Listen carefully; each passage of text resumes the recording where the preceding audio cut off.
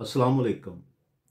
ये तो आप जानते ही होंगे कि जब एक ख़ातून अदालत से खुला की डिग्री लेती है तो खुला की डिग्री लेने के बाद उसकी एक सर्टिफाइड कॉपी जो है वो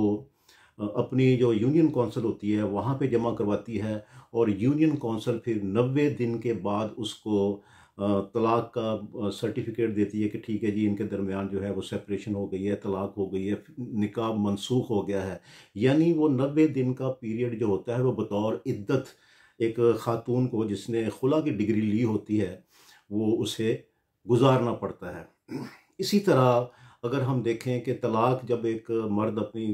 बेगम को तलाक देता है तो फिर उसकी एक कॉपी यूनियन कौंसिल में जमा करवाता है, जहाँ पे वो खातून रह रही होती है, उसकी बीवी रह रही होती है, और वो यूनियन कौंसिल फिर जो है वो नब्बे दिन का कानूनी तौर पे, ये कानून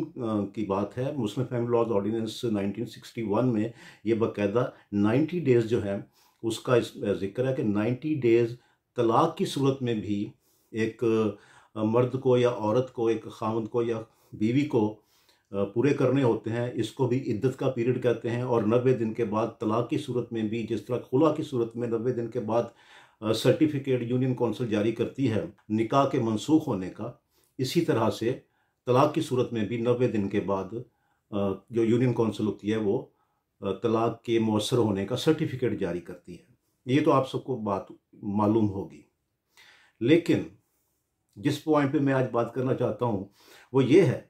कि अगर इस नबे दिन के दरमियान अगर बेबी फौत हो जाए तो चूँकि अभी उसका इद्दत पीरियड चल रहा होता है और सुलह के चांसेस भी होते हैं इस दौरान तो इस दौरान चूँकि अभी नबे दिन मुकम्मल नहीं हुए होते, उसको खातून को सर्टिफिकेट जारी नहीं हुआ होता और खुदा न खास्ता उसकी डेथ हो जाती है तो जो उसका खामंद होगा वो रंडवे की डेफिनेशन में आएगा, यानी कि वो एक विडोर की डेफिनेशन में आएगा अभी उसके खिलाफ तलाक मौसर का सर्टिफिकेट जारी नहीं हुआ था तो उस सूरत में वो बतौर वारस उस खातून का जो उसकी बीवी थी, जो जिसने खुला लिया था या इसने जो उसको तलाक दे दी थी तो नब्बे दिन के अंदर अंदर अगर खातून की डेथ हो जाती है तो वो ये जो खामद है उसका, वो उसका शोहर ही कानूनी तौर पे शुमार होगा। और अगर उसने कोई खातून ने, उसकी बीवी ने कोई तरका छोड़ा हो, कोई जायदाद छोड़ी हो तो ये बतौर शोहर उसके जो जो भी उसकी जायदाद होगी, उसमें उसका बतौर वारस, बतौर शोहर उसका वारस बनेगा। इसी तरह अगर खामद की डेथ हो जाती है ड्यूरिंग इद्दत पीरियड अभी तलाक मौसर नहीं हुई, अभी खुला मौसर नहीं हुआ यूनियन कौंसिल ने सर्टिफिकेट जारी नहीं किया और खामद की डेथ हो जाती है तो उस सूरत में जो खातून है, वो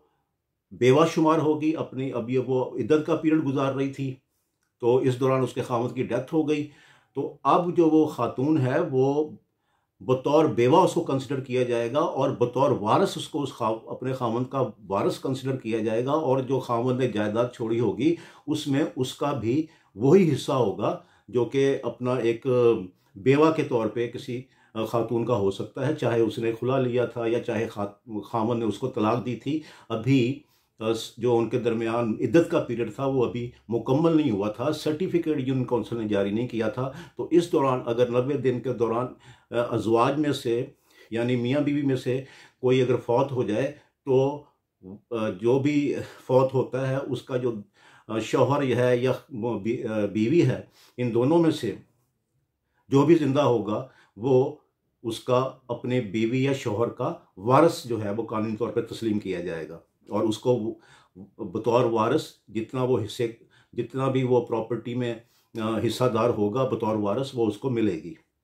तो ये नहीं होता कि खुला अगर एक खातून ने ले लिया है या एक मर्द ने तलाक दे दी है तो उसके बाद जो है वो दोनों के दरमियान रिश्ता ख़त्म हो जाता है मियाँ बीवी का। नहीं, बल्कि नब्बे दिन का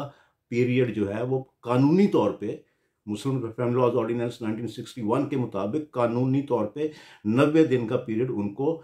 गुजारना होगा और नब्बे दिन तक वो बतौर मियाँ बीवी ही कंसिडर किए जाते हैं। तो मैंने आज इस टॉपिक पे बात करना थी। मेरा नाम है Agha Zafar advocate I am from Lahore अस्सलाम वालेकुम